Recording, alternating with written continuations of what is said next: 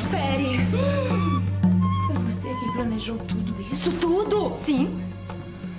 Eu e alguns amigos planejamos tudo. A despedida de solteiro. O Danilo não devia ter bebido tanto. E quem me ajudou? Terminou a brincadeira. Então o Danilo não teve culpa?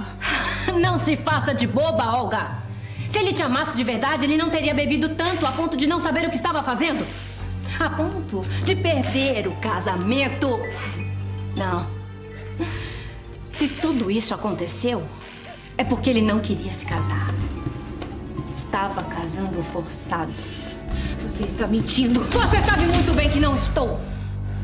Se ele te amasse, ele não teria nem conseguido dormir só pensando no casamento. Ele estaria na igreja antes de você. Mas não. Não. E sabe por que ele caiu na armadilha? Sabe?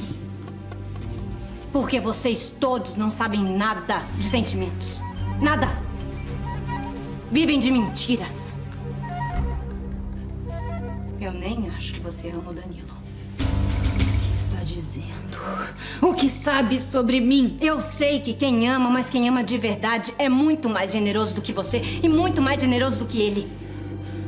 O amor existe para tornar a gente melhor. E esse seu amor, Olga, só te tornou pior. E ele também. E por causa desse amor, você riu de mim. A cidade toda riu de mim. Mas agora. É minha vez.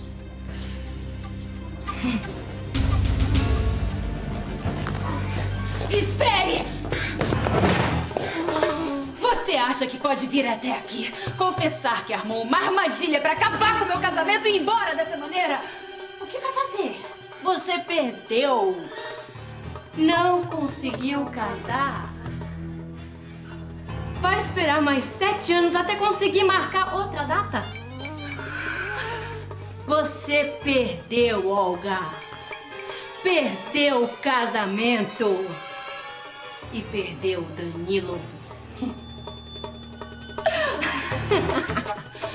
Você não vai ficar com esse sorriso no rosto.